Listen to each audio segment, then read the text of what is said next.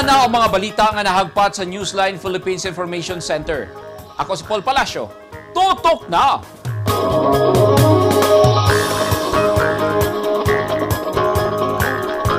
Sa mga headlines, DILG-11 nag-obliga sa mga gobernador ug mayor nga midaog sa milabay nga eleksyon nga mag-move na og transition team.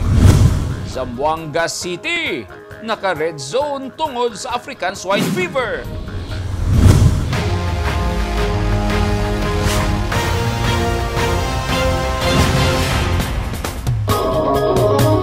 Sa detalye sa ato mga balita, giobliga sa Department of the Interior and Local Government kung DILG 11 ang tanang mayor o gobernador midaogman o napildi sa milabay nga piniliay nga magmug na og transition team alang sa hapsay nga paghulip sa katungdanan ang dili mutuman posibleng kasuhan sa DILG. Ani ang report ni Eugene Hinutan. Giplastar na sa Department of the Interior and Local Government kundi LG11 ang local transition teams alang sa hapsay nga paghulip sa bagong administrasyon nga midaog sa milabay nga eleksyon. Sumala ni Alex Roldan, ang Regional Director sa DILG11, andam na ang mga local chief executives hilabi na sa mga outgoing officials sama sa gobernador ug mayor nga mukana og udi kaha magpabilin sa ilang katungdanan hilabi na sa mga napili pag-usab. uh, required na siya, labi na sa mga uh, mo take over ng mga bagong uh, administrasyon nga ang existing mag-organize gina siya og uh, uh, transition team nga prepare anto ng mga dokumento nga i-review sa sunod nga sa musunod musuluray nga administrasyon. Ang musuluray nga administrasyon nagahimo po na siya giyang sariling team nga mo mo review sa mga papeles. So this will be a series of uh, discussions and meetings karon kay di man ko na ma-digest dayon ang mga information. Sumala pa ni Roldan, obligado ang usa ka chief executive nga mumugna og transition team aron dili madilatar ang serbisyo ngadto sa katawhan ug ugaling magmagahi posibleng pasakahan og kaso ang usa ka mayor o gobernador og dili makahupot og bisan unsang public office. Dili man pod necessary nga magka problema tungod kay ang maglangkob sa transition team kadaghanan ana mga plantilla position, mga department heads sa existing sa nga dili makabyuhan sa next nga administrasyon. So mo na siya ang uh, magpreparar ni ana tanan.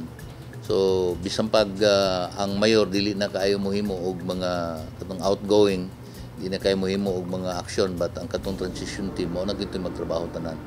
Gipasabot sab ni Roldan nga posibleng mausab ang prioridad sa gobyerno kabahin sa mga programa apan magdepende gihapon sa muhulip nga bagong administrasyon ug ang pondo nga gigahin na sa naimplementar na nga mga proyekto dili pwedeng magamit sa ubang programa. In fact, uh, bisan kami diri sa DILG, naghimo naman may og uh, report para sa incoming kung kinsa man ang mamahimong mapili nga sekretary. So i-ready na po na siya nagpadala may mga report tanan para istudyuhan po nila so that by the time nga sila na mo take over, kay balo na sila. Of course, mausab ang mga prioridad or strategies. However, naay mga uh, di nila mausab. For example, mga projects nga existing nga ongoing. Dili pwede nga ang pundo na ito gamiton for other purpose.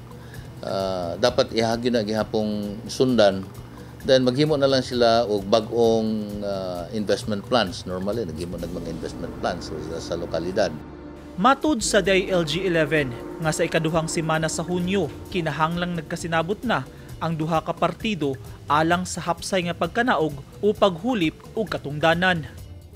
Ang DILG is tasked to ensure nga dili mabakante ang serbisyo.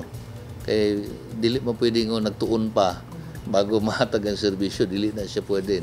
Naglaom ang DILG 11 nga sa unang usa ka gatos kaadlaw sa bagong administrasyon kinahanglan nga klaro ug ma-establish na ang executive ug legislative agenda aron malakip ang gikinahanglang pondo sa ilang isumiter nga budgeting plan.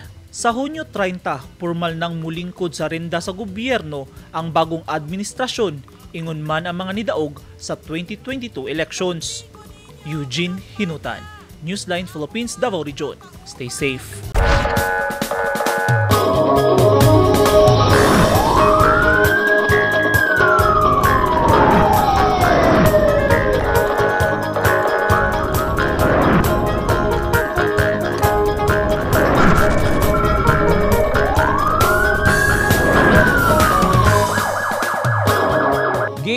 Sa mga sundalo nga miyembro sa Task Force Davao o mga pulis sa DCPO ang usa ka lalaking nagmaneho og pick-up nga naharang sa checkpoint sa Barangay Lasang, Bunawan, Davao City kaganihang kaadlawon nga nagtipig og gidudahang shabu o pistula. Subay sa report, gidakop sa mga otoridad ang suspect nga giila sa mga sundalo sa TF Davao nga usa ka Thomas Temotia Apat Malim, 33 anyos, residente sa Barangay Muaan, Kidapawan City. Ang suspect giharang sa mandatory checkpoint og nakuhaan og balor 79,200 pesos sa gituohang shabu og Smith Wesson nga caliber 40 nga pistula. Gipasabot ni Colonel Darin Comia, commander sa Task Force Davao, walay gipiling estado sa kinabuhi ang pagpatuman nila sa balaod og ilahag yun kining sikupon kung adunay illegal nga binuhatan. Samtang sikop sab sa mga pulis sa Santo Tomas, Davao del Norte sa drug buy-bust operation ng usa ka estudyante human mapaliti og gituuhang pinaugang marijuana nga nagkantidad og 300 pesos. Giila sa Santo Tomas Police ang dinakpan nga si Pierre Jules Escorzon Mangarin nga nakakustodiya na karon sa Santo Tomas PNP. Suportado sa Department of Education kung DepEd 11 ang pag-appoint kang presumptive Vice President Sara Duterte Carpio nga musunod nga DepEd Secretary hulip kang Secretary Leonor Briones. Ani ang report ni Eugene Hinutan. Gikalipay sa Department of Education 11 ang pag-appoint kang presumptive Vice President Sara Duterte Carpio isip DepEd Secretary o galing makalingkod na sa ikaduhang pinakataas nga pwesto sa Pilipinas ubos sa administrasyon ni presumptive President Ferdinand Marcos Jr. Sumala ni DepEd 11 spokesperson Ginilito Dudong Atilio, dako ang matabang ni Duterte Carpio isip DepEd Secretary sa sistema sa edukasyon sa nasud. Dugang ni Atilio nga dako ang gugma ni Duterte Carpio sa kamahinungdanon sa edukasyon alang sa kabataan. Pamatuod niini ang scholarship programs sa lokal nga gobyerno sa Davao City ug ang pagpatukod og mga eskwelahan sa syudad. Yeah, we're very happy, no? Uh, we know the mayor really has so much love for education. It, it can be seen sa kwan sa mga experiences sa Davao City.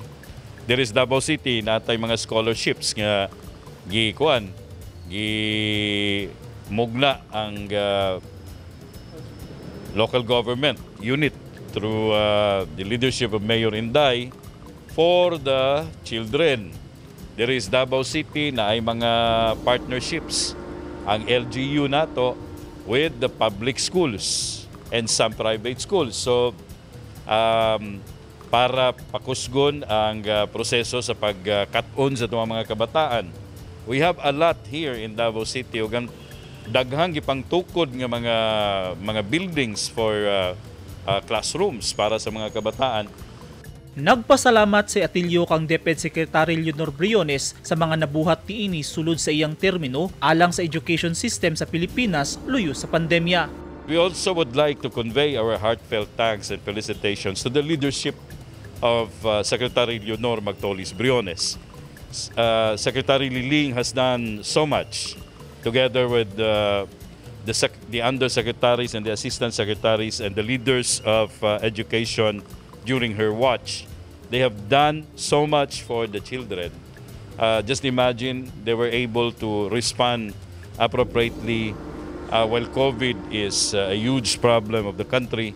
And uh, they have ensured that education has continue, will continue in spite and despite of the fact that uh, COVID has engulfed the country, affected the education system. And uh, during the, the, the, the term of Secretary Briones, a lot of uh, good things have happened also to the teachers, to the education system, and uh, she has prepared uh, the population, no, the uh, student uh, learner population of the country uh, to respond positively for future uh, uh, situation and condition, future tasks for everything that she has done for the education of uh, the country. Naglaom ang DepEd 11 nga pinaagi kang Duterte Carpio, mas mapalambo pa ang edukasyon sa Pilipinas, sanglit nagtuang DepEd nga dunay daghang plano ang bagong administrasyon alang sa Departamento sa Edukasyon. Eugene Hinutan, Newsline Philippines, Davao Region. Stay safe. Nagpaligon og maayo sa ilang aksyon batok African swine fever ang lokal nga gobyerno sa Zamboanga City human gideklarang red zone tungod sa ASF infection sa mga binuhing baboy. Taliwala sa deklarasyon isip red zone sa African swine fever, ang Zamboanga City mas gipakusgan pa sa Office of the City Veterinarian ang containment activities ug ubang paagi aron mapugan ang pagkuyanap sa ASF sa syudad. Lakip sa gipahigayong aktibidad ang disease surveillance disinfection sa mga slaughterhouse, koordinasyon sa mga checkpoints, farm visitation, coordination and meeting sa mga infected barangays ug stakeholders, blood sampling ingon man information campaign. Base sa confirmatory test sa blood samples nga nakuha gikan sa mga binuhing baboy, positibo sa ASF virus ang kanukutan sa barangay Pasunanka ug Manguso. Ang pagdeklara sa Zamboanga City Isip Red Zone subay sa gihimong deklarasyon sa Bureau of Animal Industry ubo sa Department of Agriculture. At tangi! Napulo ka two-story building sa Cagayan de Oro City giturn over na ngadto sa mga benepisyaryong informal settlers o bronze medalist sa women's tennis team sa 31st SEA Games, Garbo sa Oroquieta City. Naging mapaghamo ng taong 2020 sa bawat Pilipino at sa Philippine Charity Sweepstakes Office. Nakapanlulumo at nakapanghihina, ngunit hindi tayo kapwa susuko. Mula noon, ngayon, at sa hinaharap, asahang makakasama ninyo ang PCSO sa pagbangon ng Pilipino sa anumang pagsubok. we will get through this crisis one nation. sa PCSO. Ang mga taong dunay mga ginahambin nga mga grabing mga balatian o comorbidity, hilabi na ang mga senior citizen sila ang mas delikado nga maigo sa coronavirus disease COVID-19. Busa dubling pag-amping ang himuon og tambali ang mga ginahambin nga mga sakit. Ang pagtumar sa Bilonga Gold Herbal Capsule is a food supplement makatabang aron mapunggan nga musamot ang mga balatian. Turmeric uluyang dilaw ang nagunang sagol sa Bilonga Gold. Gisagulan og sodium ascorbate o vitamin C aron mas mulig-on ang immune system. Ang Bilonga Gold Herbal Capsule mapalit sa mga butika.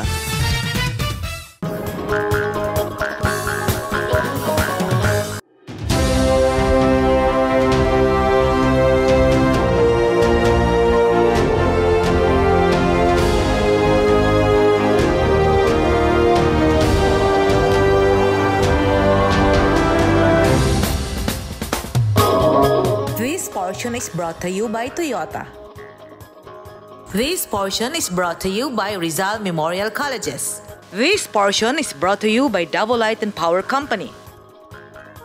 Gi-turn over na sa lokal nga gobyerno sa Cagayan de Oro City ang napulo ka mga two-story building sa mga benepisyaryong informal settlers sa syudad.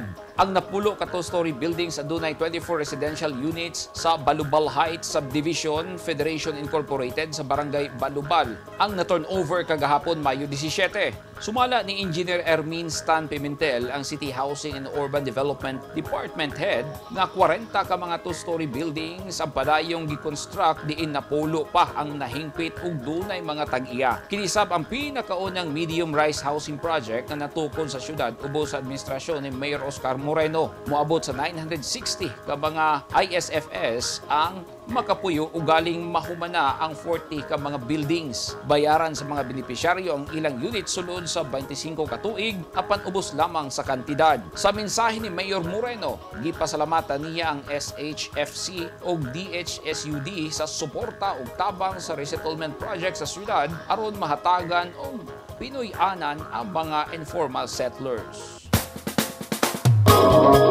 Gipasigarbo sa taga Oroquieta City nga usa sa nakasungkit og bronze medal sa 31st Southeast Asian Games ang ilang residenteng miyembro sa Philippine Women's Tennis Team.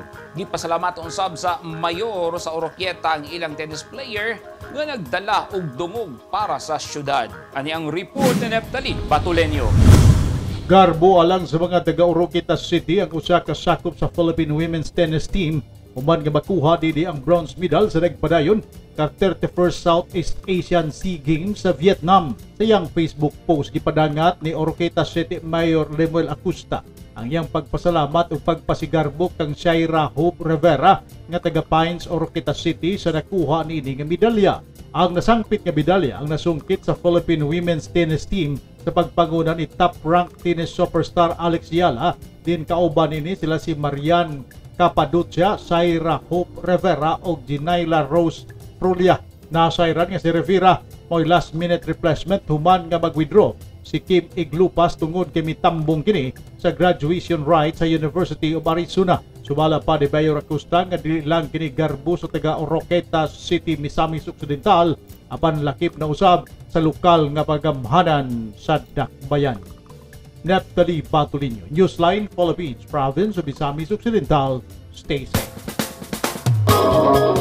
Gisugda na karon ang pagtuki sa kasabutan tali Mindanao Development Authority kon Minda ug sa mga opisyal sa Bangsamoro Autonomous Region in Muslim Mindanao aron iduso ang mga programa sa pagpalambo sa negosyo, barter ug turismo sa mga lugar ubos sa BARM. Apil sa sabutan sa panagtagbo karong hapon tali Minda ug sa Ministry of Trade, Investment and Tourism sa BARM ang pagpanday sa Memorandum of Cooperation sa pagmugna og industrial ecozones, pagtukod og pasilidad para sa mga nagunang produkto sama sa sewage processing sa Tawi-Tawi. Apil na ang pagpangita og dugang ayuda sa panginabuhian sa mga residente. Tinguha sab sa BARM nga mapalig-on ang BARM Barter Trade Council nga maoy mutabang sa binayloay og produkto sa BARM o mga lugar ubos sa Bimpiaga. Misaad si Minda Chair Secretary Mabel Acosta nga himoong prioridad ang lakang ug tabangan ang mga lugar sa BARM.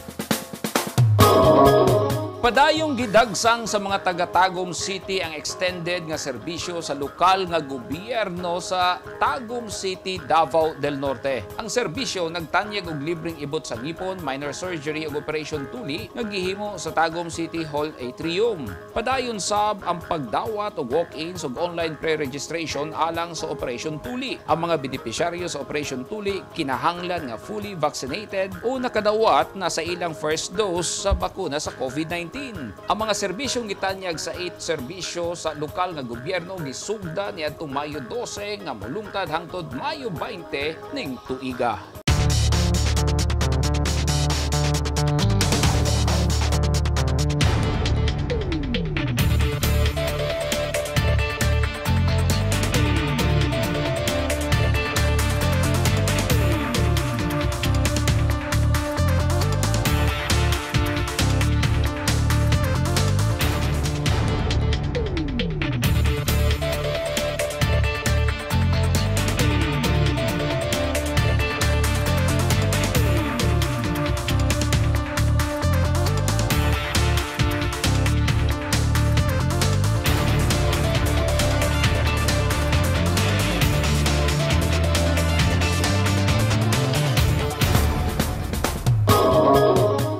Ugmaw kadto naghingpit sa mga balita nga nahagpat sa Newsline Philippines Information Center. Alang sa dugang balita, bisitaha ang website nga www.newsline.ph.